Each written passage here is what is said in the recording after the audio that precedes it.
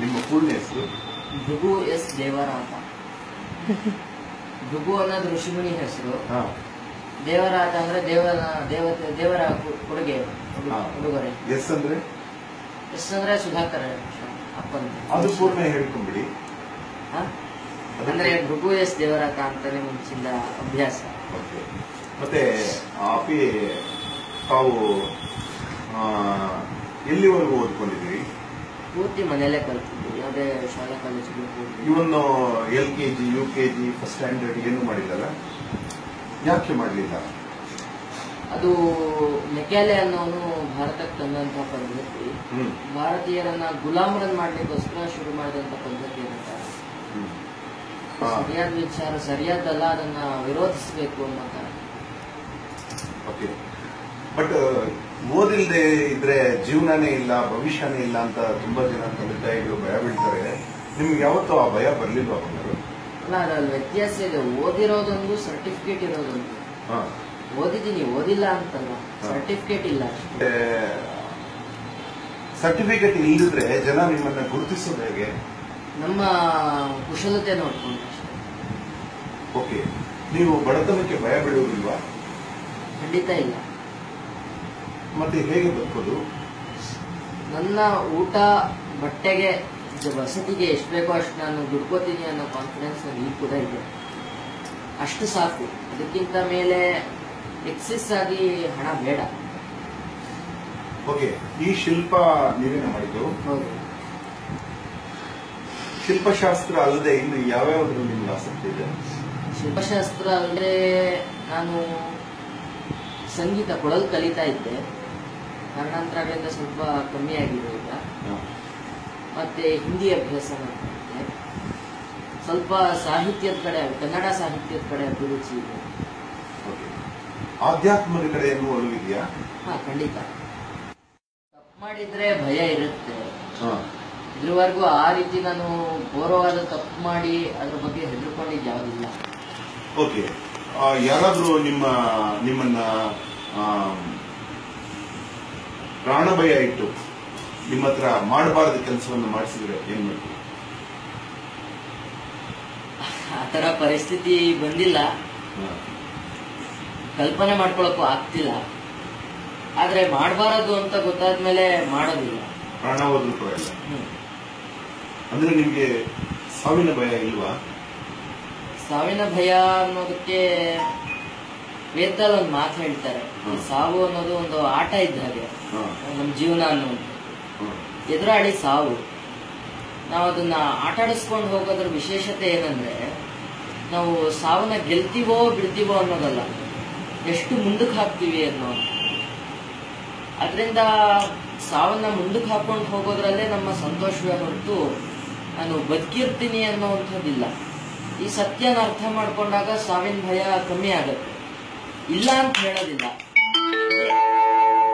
ಇದನ್ನ ಯೋಚನೆ ಮಾಡಿ ಮಾಡಿ ಕಮ್ಮಿ ಮಾಡ್ಕೊಳ್ಳೋ ಪ್ರಯತ್ನದಲ್ಲಿ. ಅತಿ ಇನ್ನೊಬ್ಬರ ದುಃಖ ನೋಡಿ ನಿನಗೆ ದುಃಖ ಅಂತ. ಅವರ ದುಃಖಕ್ಕೆ ಕಾರಣ ಏನು ಅಂತ ಮೊದಲು ನೋಡ್ತೀವಿ. ಅವರ ಯಾವುದೋ ಒಂದು ತಪ್ಪು ಅಥವಾ ಅವರ ದೋಷ ದುಃಖಕ್ಕೆ ಕಾರಣ ಆಗಿದ್ರೆ ಅದನ್ನ ನೋಡ್ಕೊಂಡು ನಾನು ದುಃಖ ಪಡೋದು ಸೆಂಟಿಮೆಂಟಲ್ ಆಗೋದ್ರಲ್ಲಿ ಅರ್ಥ ಇಲ್ಲ. ಅವರ ತಪ್ಪಿಲ್ಲದೆ ಬೇರೆ ಯಾವುದೋ ಕಾರಣದಿಂದ ಅವ್ರಿಗೆ ತೊಂದರೆ ಬಂದಿದ್ರೆ ದುಃಖ ಆಗತ್ತೆ ಅದಕ್ಕೆ ಸಹಾಯ ಮಾಡೋಣ ಅಂತ ಕೂಡ ಅನ್ಸುತ್ತೆ.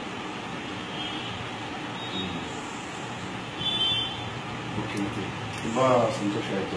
ನಿನಗೆ ಆಸ್ತಿ ಪಾಸ್ತಿಗಳಲ್ಲಿ ಆಸಕ್ತಿ ಇಲ್ವಾ? ಅದೇ ಆಗ್ಲೇ ಹೇಳಿದ ಹಾಗೆ ಜೀವನಕ್ಕೆ ಎಷ್ಟು ಬೇಕೋ ಅಷ್ಟು. ಇನ್ನೂ ಹೆಚ್ಚು ಬಂದ್ರೆ ಅದು ಬೇರೆ ಹೊರಗಿನ ಉಪಯೋಗಕ್ಕಾದ್ರೂ ತೊಂದರೆ ಇಲ್ಲ. ಓಕೆ ಬೇರೆಯವ್ರನ್ನ ನೋಡಿ ನಾನು ಆ ರೀತಿ ಮಹಲ್ಗಳನ್ನು ಕಟ್ಟಬೇಕು. ನಾನು ಐಶ್ವರ್ಯವಂತನಾಗಬೇಕು ಅನ್ನೋದಿಲ್ಲ ಆ, ಅನ್ಸತ್ತೆ. ಕೆಲವು ಸತಿ. ಅದು ತಾತ್ಕಾಲಿಕವಾಗಿ. ಆದ್ರೆ ಮತ್ತೆ ನೋಡಿದಾಗ ಅಷ್ಟು ಅಗತ್ಯ ಇದೆಯೋ ಇಲ್ವೋ ಅನ್ನೋ ಯೋಚನೆ ಬಂದಾಗ ಇರಕ್ಕೆ ಎಷ್ಟು ಬೇಕೋ ಅಷ್ಟು ಸಾಕು ಅಂತ ಅನ್ನೋ ಭಾವನೆ ಬರುತ್ತೆ. ಓಕೆ. ಮತ್ತೆ ಸಾಲ ಸಮಯ ಸಂದರ್ಭ ಬಂದಾಗ ಮಾಡುವುದರಲ್ಲಿ ತಪ್ಪಿದೆಯಾ ಇಲ್ವಾ? ಯಾರ ವಿಚಾರ ಗೊತ್ತಿಲ್ಲ. ನನ್ನ ಪಾಲಿಸಿ ಅಂತೂ ತಂದೆ ಹಾಗೇನೆ.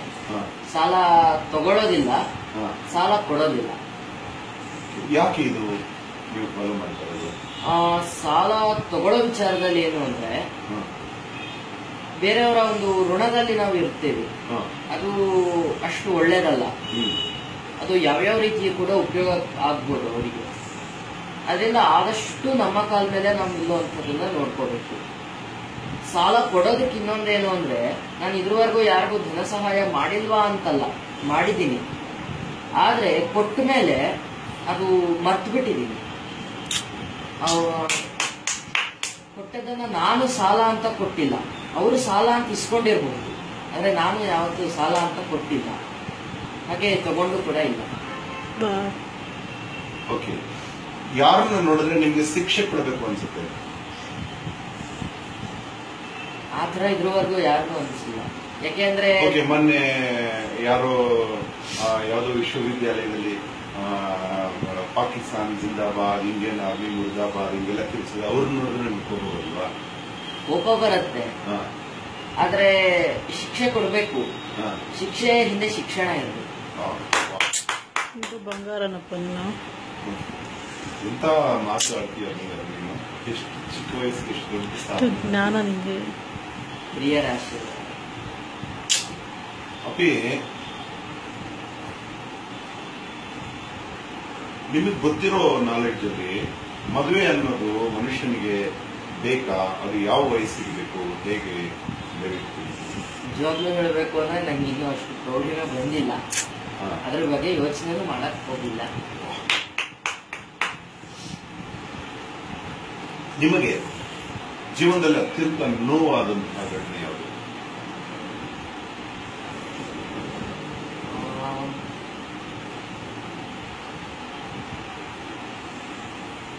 ಸುಮಾರಿದೆ. ಆದರೂ ತಾತ್ಕಾಲಿಕ ಅಷ್ಟೇ ನೋವೆಲ್ಲ ಅಪ್ಪನ ಅನಾರೋಗ್ಯ ನೋವು ತಂದಿಲ್ವಾ ನಿಮಗೆ? ನೋವು ತಂದಿದೆ. ಆದ್ರೆ ಅದ್ರ ಜೊತೆಗೆ ಆ ನೋವನ್ನ ಎದುರಿಸುವಂತ ಶಕ್ತಿನೂ ಕೊಟ್ಟಿದೆ. ಕೃಷ್ಣ ಭಗವದ್ಗೀತೆಯಲ್ಲಿ ಒಂದು ಕಡೆ ಹೇಳ್ತಾನೆ. ಅರ್ಜು ಅರ್ಜುನ ಹೇಳ್ತಾನೆ ಕೃಷ್ಣಗೆ ಭಗವದ್ಗೀತೆಯಲ್ಲ ಅರ್ಜುನ ಹೇಳ್ತಾನೆ ಕೃಷ್ಣಗೆ ಒಂದು ಪದ ಹೇಳು ಒಂದು ವಾಕ್ಯ ಹೇಳು. ಹೇಗಿರ್ಬೇಕು ಅಂದ್ರೆ ದುಃಖದಲ್ಲಿರೋರಿಗೆ ಖುಷಿ ಆಗ್ಬೇಕು ಸಂತೋಷದಲ್ಲಿರೋರಿಗೆ ದುಃಖ ಆಗ್ಬೇಕು. ಆ ರೀತಿ ಪದ ಮಾತು ಹೇಳು ಅಂತ.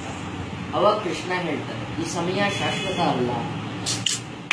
ಅದರಿಂದ ಯಾವುದೇ ಒಂದು ದುಃಖದ ಮುಂದೆ ಸಂತೋಷ ಇದ್ದೇ ಇರತ್ತೆ ಅನ್ನೋ ಒಂದು ಆಲೋಚನೆ ಬಂದ ತಕ್ಷಣ ದುಃಖ ಕಮ್ಮಿ ಆಗೋದು. ಇದು ಭಗವದ್ಗೀತೆಯಲ್ಲಿ ಭಗವದ್ಗೀತೆ ಅಲ್ಲ. ಇದು ಯಾವಾಗಲೂ ಒಂದ್ಸಲ ಬೇರೆ ಒಂದು ಕೃಷ್ಣ ಅರ್ಜುನ ಮಾತಾಡುವಂತ ಸಂದರ್ಭದಲ್ಲಿ ಬರೋ ಅಥವಾ ಯಾವುದೋ ಒಂದು ಇದಕ್ಕೆ ಅನುಸಂಧಾನ ಹಾ. ಮಾಡಿದ್ದಾರೆ ಬಟ್ ಇದು ಮಾತು ತುಂಬಾ ಚೆನ್ನಾಗಿದೆ. ಇದು ಝೆನ್ ಫಿಲಾಸಫಿ ಬರುತ್ತೆ.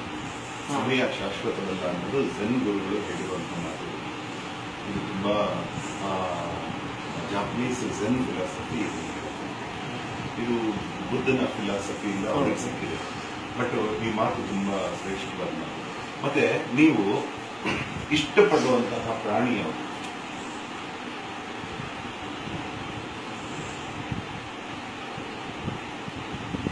ಮನುಷ್ಯ. ಕಷ್ಟ ಆಗುವಂತಹ ಜೀವಿ ಯಾವುದು? ತುಂಬಾ ದುಃಖ ಕೊಡುವಂಥದ್ದು ನಿಮ್ಗೆ ಅದನ್ನು ಕಂಡ್ರೆ ಆಗುದಿಲ್ಲ ಅಂತ ಪ್ರಾಣಿಗಳು ಆ ಥರ ಯಾವುದಿಲ್ಲ. ಯಾಕಪ್ಪ ಹಾವು ಕೆಟ್ಟದಲ್ಲೇನೋ ನಾವು ಅದಕ್ಕೆ ಏನಾದ್ರು ಕೆಟ್ಟದ್ ಮಾಡಿದ್ರೆ ಮಾತ್ರ ಕೆಟ್ಟದ್ ನಾವು ಅದಕ್ಕೆ ಕೆಟ್ಟದ್ ಮಾಡಿದ್ರೆ ಅದು ನಮಗೆ ಕೆಟ್ಟದ್ ಮಾಡುತ್ತೆ ಹೊರತು. ಅದಾಗೆ ಬಂದು ನಮಗೆ ಕೆಟ್ಟದ್ ಮಾಡೋದು ತೀರಾ ಕಮ್ಮಿ. ಬಟ್ ಒಂದು ಸಿಂಹ ಜಿಂಕೆ ತಿನ್ನತ್ತಲ್ಲಪ್ಪ? ಅದಿರುವಂತ ಪ್ರಕೃತಿ ನಿಯಮ ಅದು. ಹಾಗಾದ್ರೆ ನಿಮ್ಮ ಪ್ರಕಾರ ಮಾಂಸಾಹಾರ ತಪ್ಪಿಲ್ಲ? ಮನುಷ್ಯರ ಮಾಂಸಾಹಾರ ತಪ್ಪು. ಪ್ರಾಣಿಗಳ ಮಾಂಸಾಹಾರ ತಪ್ಪಲ್ಲ. ಯಾಕಪ್ಪ? ಯಾಕೆ ಅಂದ್ರೆ ಅದು ಪ್ರಕೃತವಾದಂಥದ್ದು. ಉದಾಹರಣೆ ಹೇಳ್ತೀನಿ. ಹ, ಈಗ ಒಂದು ಸಿಂಹ ಜಿಂಕೇನು ಬೇಟೆ ಆಡ್ತು ಅಂದ್ರೆ ಹೇಗ್ ಬೇಟೆಯಾಡತ್ತೆ ಓಡಿ. ಓಡಿ ತನ್ನ ಉಗುರುಗಳಿಂದ. ಹಿಡಿದು ಬಗ್ದು ತನ್ನ ಹಲ್ಲುಗಳು. ಸಿಗದು. ಸಿಗಿದು ತಿನ್ನತ್ತೆ. ಹಸಿಯಾಗಿ ತಿನ್ನತ್ತೆ. ಮನುಷ್ಯ ಹಾಗೆ ಮಾಡಕ್ಕಾಗತ್ತಾ? ಇಲ್ಲ. ಅಂದ್ರೆ ಅದಕ್ಕೆ ಪ್ರಕೃತವಾದಂತಹದ್ದು ಇದಕ್ಕೆ ಇವನಿಗೆ ಪ್ರಕೃತಿದತ್ತವಾದ ಅರ್ಥದಲ್ಲ. ಆದ್ರೆ ಮನುಷ್ಯ ಒಂದು ಕೋತಿ ತರ ಹೋಗಿ ಹಣ್ಣನ್ನ ಕಿತ್ಕೊಂಡು ಹಸಿ ಹಣ್ಣನ್ನ ತಿನ್ಬಹುದು. ಒಂದು ಹಸು ತರ ಹೋಗಿ ಒಂದಷ್ಟು ಆರೋಗ್ಯಕರವಾದ ಹುಲ್ಲನ್ನು ತಗೊಂಡು ತಿನ್ಬಹುದು ಅದರಿಂದ ಅವನಿಗೆ ಪ್ರಕೃತಿ ಕೊಟ್ಟಿರುವಂಥದ್ದು ಸಸ್ಯಾಹಾರ. ಇವ್ರು ಇವರಿಗೆ ಕೊಟ್ಟಂಥದ್ದು ಮಾಂಸಾಹಾರ. ಮನುಷ್ಯನಿಗೆ ಪ್ರಕೃತಿ ಮಾಂಸಾಹಾರ ಕೊಟ್ಟಿದ್ರೆ ಅವನಿಗೂ ದೊಡ್ಡ ದೊಡ್ಡ ಕೋರೆ ಹಲ್ಲಗಳು ಉಗುರುಗಳು ಇದೆ. ಆದ್ರೆ ಹಸುಗಳ ತರ ಹುಲ್ಲು ತಿನ್ನುವ ಪ್ರಾಣಿಗಳ ತರ ಗೊರಸುಗಳಿಲ್ಲ. ಗೊರಸಿನ ವಿಚಾರ ಬೇರೆ. ಹಾ. ಹಾಗಿದ್ರೆ ಇವಾಗ ಕೋತಿಗೆ ಗೋರಿಸಿರುತ್ತ? ಹಾ ಕೋತಿ ಕೂಡ ಕ್ರಿಮಿಕೀಟಗಳನ್ನು ತಿನ್ನುವಂತ ಕೋತಿಗಳಿದೆ. ಇವೆ? ಹಾ, ಈಗ ಒಂದು ಇನ್ನೊಂದು ಉದಾಹರಣೆ ಕೊಡ್ತೀನಿ. ಹಾ. ಮಾಂಸ ಮೂಳೆ ಅದನ್ನ ಏನು ಸವಿಸ್ಲಿಕ್ಕೆ ನಮ್ಮ ದೇಹದೊಳಗೆ ಒಂದು ದ್ರವ ಉತ್ಪತ್ತಿ ಆಗುತ್ತೆ. ಅದು ಅವರ ಇದು ಏನು ನಾನ್ ವೆಜಿಟೇರಿಯನ್ ಅನಿಮಲ್ಸ್ ದೇಹದಲ್ಲಿ ಉತ್ಪತ್ತಿ ಆಗುವಂತ ದ್ರವ ತುಂಬಾ ಕಾನ್ಸಂಟ್ರೇಟೆಡ್ ಆಗಿರುತ್ತೆ. ಆದ್ರೆ ಅದೇ ಮನುಷ್ಯನ ದೇಹದಲ್ಲಿ ಆಗುವಂತ ದ್ರವ ತೀರಾ ತೆಳು ಮೊದಲನೇದು. ಇನ್ನೊಂದು ಈ ವಿಚಾರಕ್ಕೆ ಏನು ಅಂದ್ರೆ ಮಾಂಸಾಹಾರಿಯ ಕರಳು ತನ್ನ ದೇಹದಷ್ಟೇ ಉದ್ದ ಅಥವಾ ಒಂದೂವರೆ ಪಟ್ಟಿದ್ರೆ ಜಾಸ್ತಿ. ಕರಳು. ದೊಡ್ಡದು ಸಣ್ಣದೆಲ್ಲ ಸೇರಿ. ಆದ್ರೆ ಮನುಷ್ಯನ ಬೇರೆ ಪ್ರಾಣಿಗಳ ಕರಳು ಅದರ ದೇಹಕ್ಕಿಂತ ಸುಮಾರು ದೊಡ್ಡದಿರುತ್ತೆ. ಮೂರು ಪಟ್ಟು ನಾಲ್ಕು ಪಟ್ಟು ದೊಡ್ಡದಿರುತ್ತೆ. ಇದು ಸೈನ್ಸ್ ಇದು ಮೆಡಿಕಲ್ ಸೈನ್ಸ್ ಮನುಷ್ಯನ ಕರಡು ಮನುಷ್ಯನಿಗಿಂತ ನಾಲ್ಕು ಪಟ್ಟು ಐದು ಪಟ್ಟು ದೊಡ್ಡದಿರುತ್ತೆ ಅದರಿಂದ ಅದ್ರಿಂದ ಅದ್ರ ಮೂಲಕ ಗೊತ್ತಾಗತ್ತೆ ನಮಗೆ. ಮಾಂಸಾಹಾರಿಯೋ ಅಲ್ವೋ ಅನ್ನೋದು. ಓಕೆ ಅಥವಾ ಸುಮಾರು ಜನ ಹೇಳ್ತಾರೆ ಇದ್ರ ಮೇಲೂ ಇಲ್ಲ ನಾವು ಮಾಂಸಾಹಾರ ಸರಿ ಅನ್ನೋದಾದ್ರೆ ಒಬ್ಬ ವ್ಯಕ್ತಿ ಒಂದು ವರ್ಷಗಳ ಕಾಲ ಮಾಂಸಾಹಾರಿ ಪ್ರಾಣಿಗಳ ಥರಾನೇ. ತಾನೇ ಹಿಡಿದು ತಾನೇ ಬಗ್ದು ಹಸಿರು ಮಾಂಸ ತಿನ್ಕೊಂಡು ಇರಕ್ಕೆ ಸಾಧ್ಯ ಅನ್ನೋದಾದ್ರೆ. ಪ್ರೂವ್ ಮಾಡಿದ್ರೆ ಅದನ್ನ ಮಾಡಿ ತೋರಿಸಿದ್ರೆ ಅದನ್ನ ಒಪ್ಕೋಬಹುದು. ಅದು ಸಾಧ್ಯ ಇಲ್ಲ ಅಂತ ಎಲ್ರಿಗೂ ಗೊತ್ತಿರುವಂತ ವಿಚಾರ. ತುಂಬಾ ತುಂಬಾ ಸಂತೋಷ ಆಯ್ತು. ಮತ್ತೆ ಈ ಮೂರ್ತಿಯ ಬಗ್ಗೆ ಕೆಲವು ವರ್ಣನೆ ಕೊಟ್ಟಿರುತ್ತೆ ಈ ಶೃಂಗ ಲಕ್ಷಣ ಇವರ ತಾಳಮಾನ ಪದ್ಧತಿ ಏನಾದರೂ ನಿಮಗೆ ಅನಿಸಿಕೆ ಇದು ಏನು ಭಾಗಗಳಿರುತ್ತೆ ಶಿರೋ ಭಾಗ ಏನು ಅನಿಸಿದ್ರೆ ಅದಕ್ಕೆ ನೀವು ಓದಿರೋದನ್ನ ಹೇಳಿ. ಅಂದ್ರೆ ಶಿಲ್ಪಶಾಸ್ತ್ರದಲ್ಲಿ ಮುಖ್ಯವಾಗಿ ಏನ್ ಮಾಡ್ತಾರೆ ಅಂದ್ರೆ ಮೊದಲನೇದು ಪ್ರಕೃತಿ ಹೇಗಿದೆ ಅಂತ ನೋಡ್ತಾರೆ. ಅದಾದ್ಮೇಲೆ ನಾವು ಹೇಗ್ ಮಾಡ್ಬೇಕು ಅನ್ನೋವಂಥದ್ದು. ಈಗ ಉದಾಹರಣೆಗೆ ಇದು ಹೇಗ್ ಕೂತಿದೆ ಅನ್ನೋದ್ರಲ್ಲಿ ಗೊತ್ತಾಗುತ್ತೆ. ನೇರ ಕೂತಿಲ್ಲ. ಹೀಗೆ ಸೈಡಕ್ಕೆ ಕೂತಿರುತ್ತೆ. ನಿಜವಾದ ಹಸು ಹಾಕಿ ಕೂತ್ಕೊಳ್ಳುತ್ತೆ ಮತ್ತೆ ಹೆಚ್ಚಿನ ಹಸುಗಳು. ಕಾಲನ್ನ ಹೀಗೆ ಹಾಕೊಂಡು ಈ ಕಡೆ ಬಂದಿರುತ್ತೆ ಹ್ಮ್ ಕಾಲು ಹೌದೌದು ಇಲ್ಲಿ ಬಂದಿರುತ್ತೆ ಇನ್ನೊಂದು ಕಾಲು. ಹೌದು. ಆ ರೀತಿ ಕೂತ್ಕೊಳ್ಳುತ್ತೆ. ಇದನ್ನೆಲ್ಲ ಗಮನಿಸಿ ಅಂದ್ರೆ ಎಲ್ಲಾ ಹಸುಗಳು ಒಂದೇ ತರ ಇರುತ್ತೆ ಅಂತಿಲ್ಲ. ಅದನ್ನ ನೋಡ್ಕೊಂಡು ಒಂದು ಇಷ್ಟ ಇಂತಿಷ್ಟು ಅಳತೆಗಳು ಅಂತ ಶಿಲ್ಪಶಾಸ್ತ್ರದಲ್ಲಿ ಮಾಡಿಟ್ಟಿದ್ದಾರೆ. ಅದ್ರ ಮೂಲಕ ನಾವು ರಚನೆ ಮಾಡ್ತಾ ಹೋಗ್ತೀವಿ. ಆ ಅಳತೆಗಳ ಮೂಲ ಉದ್ದೇಶ ಏನು ಅಂದ್ರೆ ಒಂದು ನಿರ್ದಿಷ್ಟವಾದ ಹಸುವಿನ ರೂಪ ಕೊಡುವಂಥದ್ದು. ಅಂದ್ರೆ ಎರಡು ವಿಭಾಗ ಇದೆ ಅದರಲ್ಲೂ ಕೂಡ. ರಿಯಲಿಸ್ಟಿಕ್ ಮತ್ತು ಟ್ರೆಡಿಷನಲ್ ಅಂತ. ರಿಯಲಿಸ್ಟಿಕ್ ಹೋದಾಗ ನಾವು ವಾಸ್ತವವನ್ನೇ ಇಡ್ತೀವಿ ಇಲ್ಲಿ. ಅದು ಬೇರೆ ರೀತಿನೇ ಬರುತ್ತೆ. ಆದ್ರೆ ಟ್ರೆಡಿಷನಲ್ ಅಂತ ಬಂದಾಗ ಎಲ್ಲಾ ಹಸುಗಳು ಒಂದೇ ರೀತಿ ಬರಬೇಕು ಅನ್ನೋದಾದ್ರೆ ತಾಳಮಾನ ಅಳತೆ ಅನ್ನೋದನ್ನ ಮಾಡಿದ್ದಾರೆ. ಸಂತೋಷ ಆಯ್ತು. ಮಾತಾಡಿದ್ದು. ತುಂಬ ತುಂಬಾ ಖುಷಿ ಆಯ್ತು ಬಂಗಾರು. ಚಿಕ್ಕ ವಯಸ್ಸಿಗೆ ಅತಿ ಹೆಚ್ಚು ಸಾಧನೆ.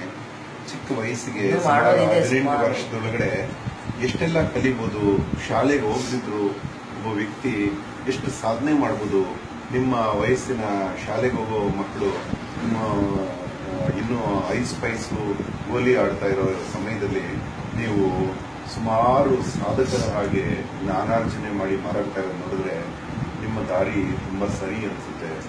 ಎಲ್ಲರಿಗೂ ತಿಳಿಯಲಿ ಅಂತ ನಿಮ್ಮ ಅನುಮತಿ ಪಡೆದು ರೆಕಾರ್ಡ್ ಮಾಡಿದ್ದೀವಿ. ಅದನ್ನ ನಿಮ್ಮ ಅನುಮತಿ ಇದ್ದಲ್ಲಿ ಆದಷ್ಟು ನಿಮ್ಮ ಜನಗಳಿಗೆ ತೋರಿಸೋದಕ್ಕೆ ಬಳಸ್ತೀವಿ. ತುಂಬ ತುಂಬ ಧನ್ಯವಾದ. ಈ ಈ ಮೂರ್ತಿ ನೀವು ಮಾಡಿದ್ದು ತುಂಬ ನಮಗೆ ಸಾರ್ಥಕ್ಯ ನಿಮ್ಮನ್ನು ಭೇಟಿ ಮಾಡಿದ್ದು ಅಂತ ಅನ್ನಿಸ್ತಾ ಇದೆ.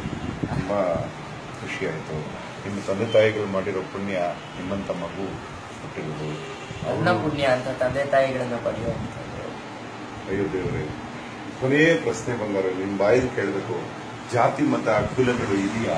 ಅದು ಒಳ್ಳೇದ ಅಂತರ್ಜಾತೀಯ ವಿವಾಹಗಳ ನಮ್ಮ ದೇಶಕ್ಕೆ ಬೇಕಾಗಿದೆಯಾ? ಒಳ್ಳೇದ ಇದ್ರ ಬಗ್ಗೆ ಒಂದು ಚಿಕ್ಕ ಮಾತಾಡ್ತೀವಿ ಮೊದಲನೇದಾಗಿ ಜಾತಿ ಅನ್ನುವಂಥ ಪದ್ಧತಿ ಇಲ್ಲ.